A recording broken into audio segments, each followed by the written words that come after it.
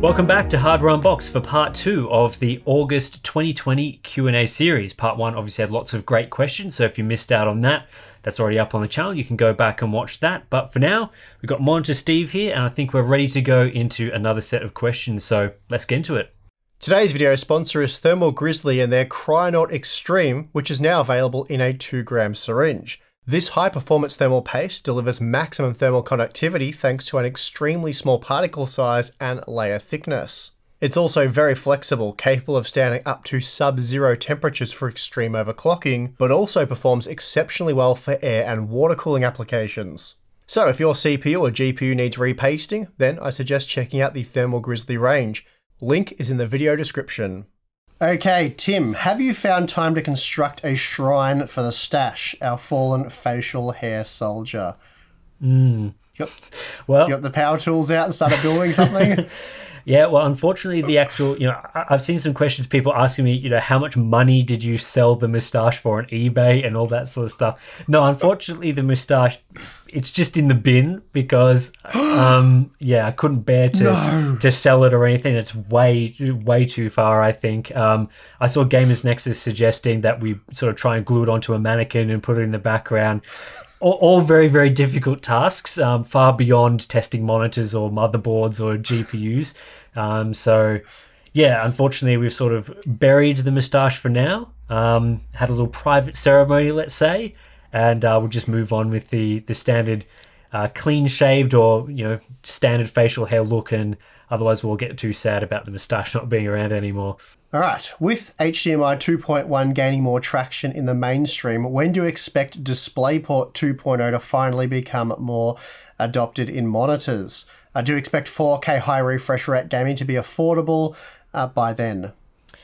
yeah reckon, um, Tim? I think DisplayPort 2.0 is a bit different to the HDMI 2.1 situation in that DisplayPort 1.4 with DSC is perfectly fine for most monitor technologies that we've got now. I mean, this is, for example, right here, this is a 4K 144Hz monitor. HDMI 2.0, you can't run it at 144Hz, so you need HDMI 2.1. But DisplayPort 1.4 can run this monitor at 144Hz no problems with DSC. And of course, some people have opinions, you know, saying, oh, DSC potentially is inferior. Again, it's meant to be a lossless compression techno, uh, lossless compression technology or very close to lossless, so you don't see any issues with that. And certainly, you know, I've got the uh, the Odyssey Neo G9 just sitting over there as well. Again, that's what 5120 by 1440 at 240 hertz. Again, that runs fine over DisplayPort 1.4. So it's not necessary right now to have DisplayPort 2.0. So I think that's going to really delay its adoption because if there's no need to have more expensive DisplayPort connectors and stuff, you wouldn't you just wouldn't bother putting them in. It's really going to be for you know we might see a 4K monitor like this at 240 hertz or higher refresh rates, you know needing 10 bit or 12 bit colors. That that's when you'll need these sort of DisplayPort 2.0 connectors. So I think we've seen rumors lately about the next generation of GPUs from Intel, AMD, potentially Nvidia as well, using DisplayPort 2.0. They'll be nice for future proofing, but I don't expect monitors to bother implementing it for quite some time, at least until the resolution and refresh rate requirements really dictate it. So, would you say that Intel might have a chance in beating DLSS with their XeSS? After all, it is temporal and it does use deep learning, it's just not hardware accelerated. So, well, firstly, that last part about it not being hardware accelerated is sort of true, sort of not true. It sounds like XeSS will have two different pathways that we'll be able to run. One is going to be XMX accelerated, so that will be hardware accelerated, but only on Intel GPUs specifically. And then the other way to run it, sort of the fallback way on other GPUs, older GPUs, potentially integrated graphics as well, will be the DP4A method. So that will work on AMD's latest GPUs, NVIDIA's latest GPUs, and, and so on, and won't necessarily be hardware accelerated. It's going to depend on how those GPUs deal with those instructions. So that's that topic sort of solved for now. Do they have a chance in beating DLSS? Um, yes. Uh, yeah, th- they do. I think Intel has got a lot of expertise in AI. Certainly, they've been doing lots of research into that. So I certainly think that from that perspective, that Intel has what it takes to develop this sort of software feature. I think it's mostly going to hinge on, as always, game integration.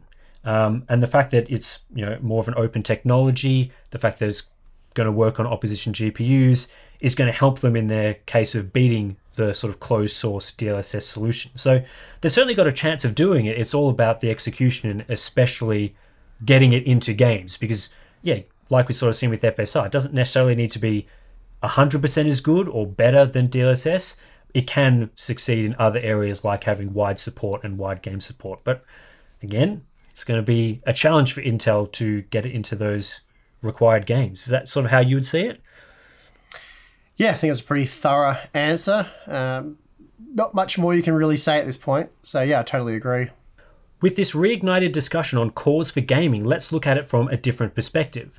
Why do games suck at utilizing cores, and do you, in your professional opinion, see this changing in the future, for example, with better implementation of Vulkan or DX12? Uh, well, I would argue that they don't suck, to be honest. I mean, looking closely, especially the bigger AAA titles that we typically test with over the last few years, a lot of them utilize eight or more cores very well, or at least they spread the load across the, you know eight or more cores very well. So if you have a a lower end 8 core processor, you will see utilization higher on that, though something like a Ryzen 7 1800X, the frame rate will be lower, which does lower CPU utilization. But the point is, I think the games are spreading the load really well and using as much of the CPU as they need to to at least do what they do in the game. I think the sort of from your angle where you're saying is they're not fully utilizing the higher end CPUs like your Ryzen 7 5800X, 5900X, and the 11th gen parts. And I'd say the reason for that is the fact that if you look at, I know it's not super accurate, but it's a pretty good rough guide, the Steam hardware survey, looking at that, 40% of all Steam users that take the Steam hardware survey say that they still use a quad core CPU, whether that's four cores, four threads, or four cores, eight threads, doesn't really matter. Point is, that's the amount of processing power they have. Uh, and what, what's like the fastest quad core at the moment? It's like the Core i7 7700K Something and around the there, Ryzen yep. 3 3300X. They're about the same, I think, and they're the fastest quad cores available or thereabouts. Taking all that information in, basically, game developers, even today, they don't want to be alienating 40% of their customer base. If they make a game that requires even something like a a six core processor with the performance of the Ryzen 5 5600X, there's going to be so many people that will not be able to play that game. And while we are seeing a shift towards that slowly, it's not going to happen overnight where all of a sudden you need a high end 8 core processor. So they do spread the load, so you get a nicer, smoother experience with those high end parts, or at least a, a powerful 6 core processor, but it's still pretty well playable on like a 4 core. Uh, eight thread CPU, such as the 7700K or whatever. So that's sort of the reason. You've got to remember you can't be leaving a huge part of your customer base behind when releasing a new game because that just really heavily uh, impacts your sales yeah. in, in, a negative way. I think most game developers as well, they want the games to be running mostly GPU limited for that reason. It tends to be easier to mm-hmm. scale GPU features. So turning yes. on or off features like shadows or even just something as basic as the resolution is generally speaking, very GPU de- very GPU dependent. So you can scale across that wide range of GPUs that people have with those features. Whereas CPU features, yeah, you can scale a few things like you know draw distance and level of detail type effects on the CPU or NPC counts. You see that in games from time to time, but. Mm-hmm. A lot of the time, if you make a game, let's say, and you want to put thousands of NPCs in it, and then you also let people scale that down to you know a handful of NPCs on lower end CPUs, that has pretty significant gameplay implications. Whereas changing the resolution or changing the shadows doesn't necessarily have that same sort of effect. That's right. So I think that's why Everyone's we getting see a similar experience. Yeah, it's why we see much narrower CPU related features and why mm. you see these modern 8 core and even 6 core processors sitting with very low utilization because they just can't push those effects at the moment. Obviously, as you said, that that mm-hmm. is going to change. The other thing as well yeah. with with utilization is that you know those numbers that you see don't aren't always hundred percent accurate in the bottlenecks of the CPU and you know the actual mm-hmm. utilization because something like those old first gen Ryzen processors they may be only utilizing you know 30 or 40 percent but they may be limited by the amount of cache that they have the latencies to the memory cache latencies all those sorts of things which don't they don't really come across in those utilization numbers. Yeah, the whole utilization thing, I mean, even testing CPUs in general can be a bit misleading because if you're looking for how heavily utilized something like a Ryzen 5 uh, 5600X is, that's a very fast CPU that can push very high frame rates, basically as high as the 16 core variant. But to see it very heavily utilized, you've got to pick a game where it does render or allow hundreds of FPS to be rendered with a high end GPU. And then you do see quite high utilization. You can get up around the 80% mark and you think, oh, okay, well, that's you're sort of starting to get to the point where you're using all of that CPU and it's not long before you run out of headroom. But if you dial back the FPS to like 144 FPS, say you frame cap it there, just or just below your monitor's refresh rate for that, the the sweet spot with input, you know, latency, well, the CPU utilization drops away heavily. Like you could be halving the CPU utilization in that instance. So, yeah, it's a bit of a, a complex discussion and it can often be quite misleading as to how heavily you really are utilizing your CPU. Uh, because again, you're probably not using something like an RX 6900 XT at 1080p with whatever CPU it is. You're probably running at 1440p, and again, that will see that you're mostly GPU bound or becoming more GPU bound, and that will again lower the CPU requirements. So yep it's a balancing act. But Basically, by determining what kind of CPU you need to play at 1440p or 4K by testing at 1080p with a flagship GPU, not a great way of doing it, to be honest. But it does let you know how different CPUs differ in terms of performance. So obviously, it makes sense for CPU testing. Why does it seem PCI Express Gen 4 is so short lived versus PCI Express Gen 3?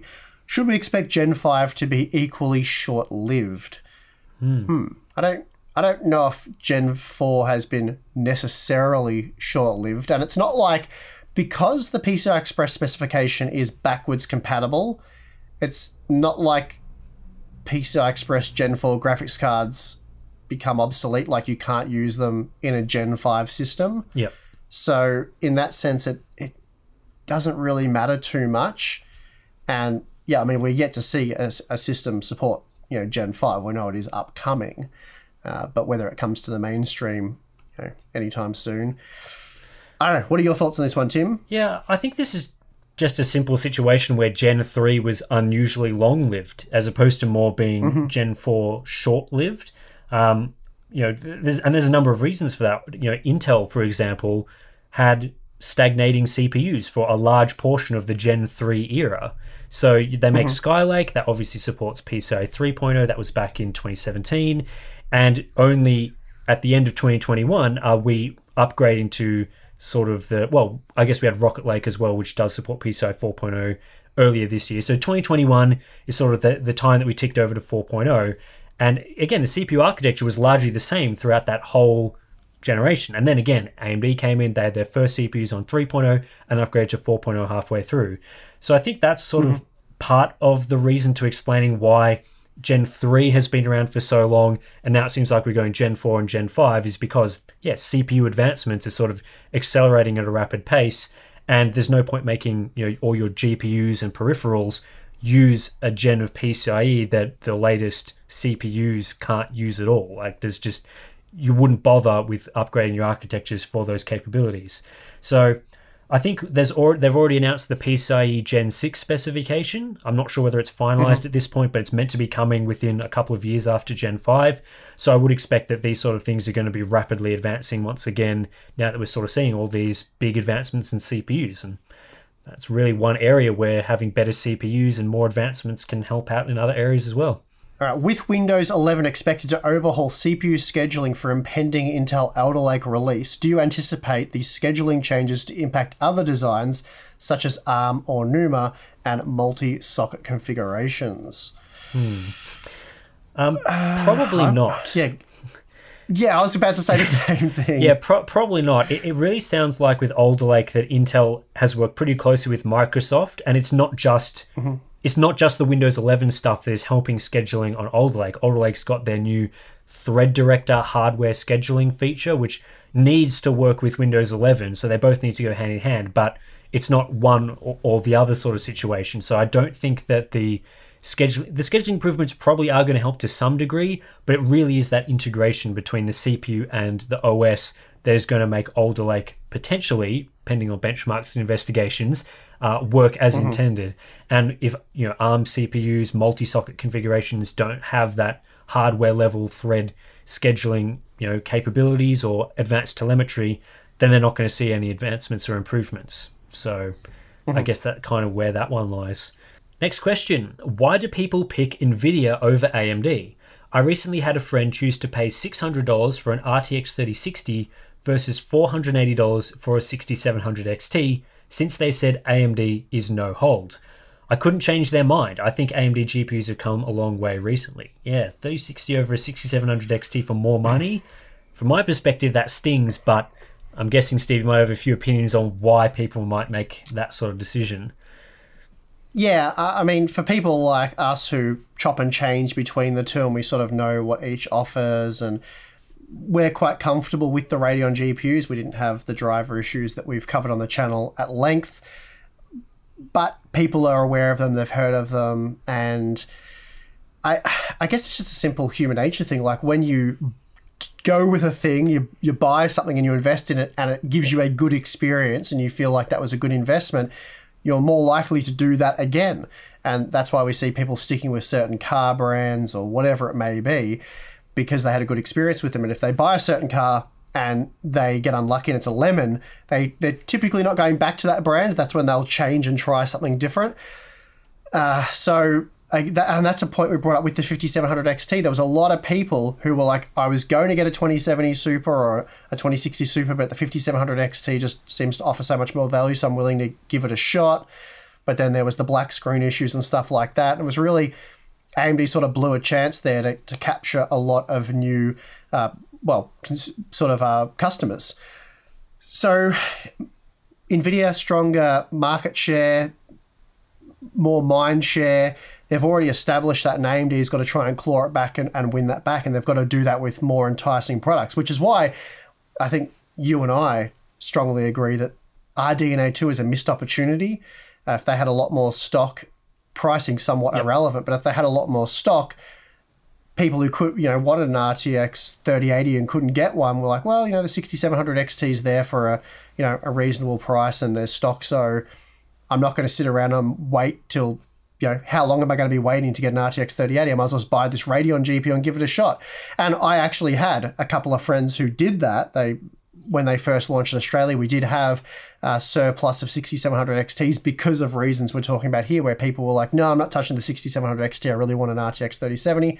I had a few friends that went with the Radeon GPU, and they've used GeForce GPUs pretty much all their lives and they're quite shocked by how good the 6700 XT is, by how good the the Radeon control panel is, how good the software is. They're expecting some clunky old sort of ancient software that didn't work terribly well based on what they heard on forums or from other people, and they're like, you know, recording gameplay is actually easier and the interface is better than what I had on my GeForce GPU. So I've got a lot of that sort of feedback. But yeah, convincing people to do it, it's another thing because well, for all the reasons we've spoke of. Yeah, and it's not it's not helping with the latest uh, feature disparity between Nvidia and AMD. You know, they're already battling all the things that you've said about lots of people already have Nvidia GPUs, brand perception, market share, all that. And then on top of that, Nvidia does have the superior product based on mm-hmm. you know the performance is very competitive, and then they're adding things like better ray tracing performance, DLSS, you know their encoder features, which again probably might need a bit of an update on you know, to see which one is in the lead. But they do have a very strong encoder support, CUDA support, mm-hmm. uh, all, all these sorts of mm-hmm. features mm-hmm. that they're sort of, you know, you kind of feel like if you're buying a 6700 XT that you're missing out on on ray tracing support or that you're missing out on DLSS. Even though a 6700 XT does support ray tracing, there is still that perception that you need the RTX GPU to get ray tracing, which is going to swing people over to cards like an RTX 3060 even though it's more expensive and in most games is a lesser performing GPU. So, yeah, there's again lots of work AMD needs to do in these things, and I totally agree when you say that they kind of missed the opportunity to flood the GPU, mm. flood the market with their GPUs this generation when their competitor is struggling to meet the demand from from buyers. But hasn't happened unfortunately for AMD, and they're just going to have to keep executing to get people over, I guess. Yeah, I mean, obviously we're well aware that there's a limited seven nanometer wafer supply, and you know they've got as much as they can get, and they're, they've got to produce so many different products, and there's so many different markets they've got to service with that allocation, and they will have done the calculations and worked out where you know they're best off investing. But yeah, I feel like you know the Radeon GPUs, it's a huge market, and they could have really capitalized on the current situation and done a lot better there but they didn't for reasons that probably make sense to them or make sense in general. But yeah, seems to us like opportunity missed. Why are manufacturers like MSI creating so many different variations of the same graphics card or the same GPU basically? So, as the example here, 3080 Ti variants, there's just so many of them, uh, it just is overwhelming. So, why not create just one or two uh, successful variants? Which I guess sort of the smaller partners like Power Color, they tend to do that. Like you get the Hell, well, they do like three now. You get the Fight of the Hellhound and the Red Devil, and then sometimes you get like a liquid cooled devil or whatever. So even the uh, smaller guys do have more than two variants for the most part. But why are there so many different variants is the question. And really, probably a few different reasons. You can bet that companies like MSI have been doing this for a while, so they've sort of optimized their product lines and then then they're not overwhelming people to the point where they just don't buy anything. Uh, they're trying to cover various different price points. Uh, they're trying to justify higher margin products, I suppose. And it may even be a situation where they're offering sort of different looking products as well. Like someone wants a black looking graphics card, or, you know, you can see that they're all, some of them are subtly different, some are quite different in their appearance and, and the features they offer. So product segmentation. It's nothing new. And when you're a big company and you can afford to do it, they do it because it generally results in more sales and it allows them to. I guess another way of looking at it, your old brick and mortar stores, you have two products, two different types of Radeon GPUs, and your competitor has six. So they're dominating three times the shelf space. They're more likely to have that convert to a sale. And the online store approach, it's the same thing. You go to like your PC case gear or whoever, and you got MSI, G, MSI, MSI, MSI, and then like two power colors or whatever. MSI is more likely to get the sale. Uh, it just looks like a stronger brand, I suppose. Yeah, I think part of it as well that you haven't touched on is these these GPUs. There's kind of a price gap between one GPU and the next. So you sort of got your 3060 Ti at say four hundred dollars, your 3070 at five hundred dollars. So then the AIBs think, okay, well we can sell in twenty dollar increments between 400 and 500 dollars or even you know have your top end 3060 Ti's be priced above the lowest tier 3070s and that just gives people the maximum amount of choice that they could possibly have. So uh, oh I've got $440 exactly to spend on a GPU well that means I can get the 3060 Ti at the second from bottom variant or whatever the case is for that that line. So I think that just kind of flood the market uh, uh, in addition to all the things that you were saying and so, yeah, just there's always that product available for the person that's ready to go right there for the amount of money that they want to spend. So you end up with the full stack of $20 increments from right down the bottom end of the GPU line, up and up and up and up. Yeah. And um, to make it, well, not overwhelming, during normal times, you would just buy the card at or very near the MSRP and ignore the premium cards unless you're shopping for a flagship GPU. But something like an RTX 3060 Ti, you would be going very near to that MSRP to get the most bang for your buck. And you just have to do a bit of research who offers the best quality uh, MSRP card, and there you go. Yeah, and they like to differentiate with things like factory OC versus non OC mm-hmm. cards, which tends to get people the sale. And just, as you say, basic stuff like two fans versus three fans. People might want the mm-hmm. three fan variant. Yeah, it all gets down to simple stuff like that. Next question New Intel processors will support both DDR4 and DDR5. What is your opinion about that? Does it mean that there will be no big difference between them, or is it a cost saving thing because DDR5 will be expensive at first? So we've seen this before, haven't we? Yeah, back in 2015, at least one example, when Intel released the Skylake architecture, the first wave of motherboards uh, supported DDR3 or DDR4. Yep. So that was pretty interesting. Mind you, you couldn't, you had to pick one memory type. You couldn't use like, you know, a DDR3 stick with a DDR4 stick. Uh, you had to pick one or the other.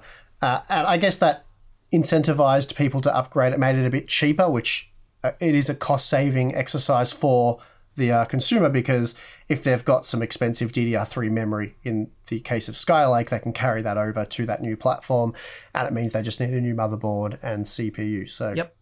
yeah, I mean, memory these days isn't terribly expensive, so I guess there's less reason to do that. And it'd probably make a like the DDR4 to DDR5 thing with the upcoming platforms. It'd probably make a little bit more sense with like your really budget entry level motherboards where you are trying to save every last dollar. But then, even then, it's probably like you're probably just better off buying the previous generation part at a discounted price if if that um if that comes up. Sort of like what we saw with like Zen Plus and Zen 2, for example. Uh, with DDR4 and DDR5, it is definitely going to be a situation where you have to pick one or the other. Personally, I would recommend avoiding the hybrid boards that do both and just get yourself a DDR5 board and buy the DDR5 memory. Of course, you've got to wait till the benchmarks and see what's worth doing. But yeah, uh, I think initially, at least at the sort of JEDEC spec, DDR5 won't be any faster or much faster than your higher spec DDR4 modules, but then you're sort of comparing premium DDR4 with entry level DDR5, and then Yep. I don't know what the pricing's going to be. So, but I think my gut instinct would be to avoid those hybrid boards, get a DDR5 board because you usually get four slots, uh, four DIMM slots for DDR5, and Yep. yeah, Do you think we will be seeing combo motherboards again, like the DDR3 to DDR4 transition period? So I assume this is for upcoming Alder Lake designs with your DDR4 to DDR5. What do you think, Steve, the motherboard man? the motherboard man. I think so because well, we have seen these before, especially with uh, Intel platforms, a sort of hybrid transitional thing: DDR3, DDR4, DDR4 to DDR5. So I think we will see that. I hope we'll see it. Only because it makes benchmarking quite interesting and a lot easier because you can actually test the same CPU with different memory, so a bit of an apples to apples comparison there. But having said that, I don't think you should buy them. Uh, well, at least for most of you. We'll see. We'll test it and we'll really find out. This is obviously my sort of preliminary take on it, which could end up being wrong. But historically, yeah, best not to buy those boards because it does limit you to two DIMMs for the memory type of your choosing, which makes it difficult to upgrade from 16 to 32 megabytes or 32 megabytes to 64 megabytes in the future if that's something you want to do. Gigabytes, I'm sure you meant, your- yeah. What did I say? I think you said megabytes. Oh yeah, probably gigabytes would be better. Yeah. Um, sorry. Um, yeah, definitely do gigabytes. But yeah, so it makes that expanding your capacity in gigabytes uh, much easier. Thank you, Tim. Yep. So I think that's basically yeah. I think we will see them. That's the question answered. Okay, will you be hiring the new guy soon? Seems pretty good. Yeah, the new guy's not too bad. Hasn't quite got the same presence as the old guy. The old guy was very commanding with with very little effort it seemed. But yeah, the new guy, I think he can he can sort of work his way into the role and and fill those shoes. Not sure. We'll see. We'll see how it goes. Obviously, it really depends on what you guys think. Uh, but so far, you guys seem to be warming up to the new guy quite well. So, yeah, that's that's good news, new guy. Why hasn't AMD created a reference model for the 6600 XT? Does doing this benefit AMD in some way? Uh, it's almost as if AMD are trying to hide something from the off. Don't know if I'd don't know if I'd sort of read that much into it and say they're trying to hide something by not creating a reference card because let's be honest, it's not that abnormal. Usually with the lower end models, we don't get a reference card, and that uh, is not just AMD. Also, Nvidia tends not to do that as well. What was the lowest reference card we got? Was it the RTX 2060 from the previous generation? And then Yeah, the that's right. 16 Yep. series were all AIBs. So, yeah, look, it's not that strange.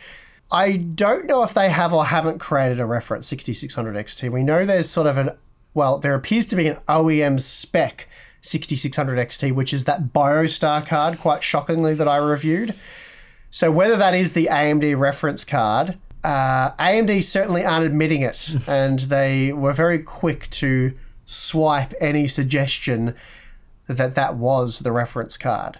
But the jig will be up if we start seeing a lot of OEM systems using the BioStar card, because it'll be quite clear that that is the AMD OEM spec. Very disappointing if that is the case, but yeah, we'll have to um, give them the benefit of the doubt, I suppose, for now, and then see, yeah, if the BioStar card starts appearing in systems that BioStar had nothing to do with.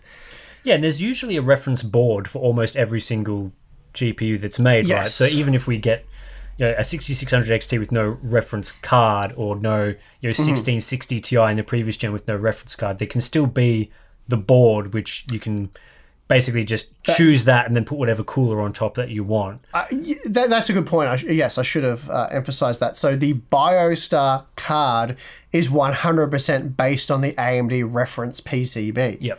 The cooler, though, is the thing we're not sure on. Yep. So the PowerColor Hellhound, for example, that also uses the AMD reference PCB. There's a few subtle differences there. PowerColor use what looks to be slightly higher quality inductors when compared to BioStar, but you know the PCB was perfectly fine when we chucked the Hellhound cooler on there. We got the exact same thermal and performance results as we did with the uh, PowerColor Hellhound.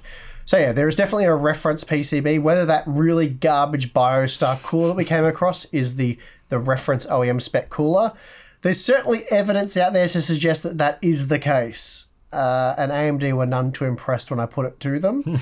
they certainly didn't want that story getting out. But if it is, you know, If it is, it'll be a lot of obvious. systems.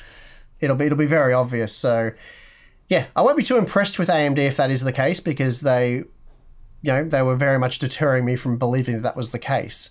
So I always hate it when these companies lie to us because yeah, it. I don't believe anything they say. Like AMD, whether they meant to lie to us or not, they certainly lied to us, or they ended up lying to us about the pricing and availability of the 6800 series.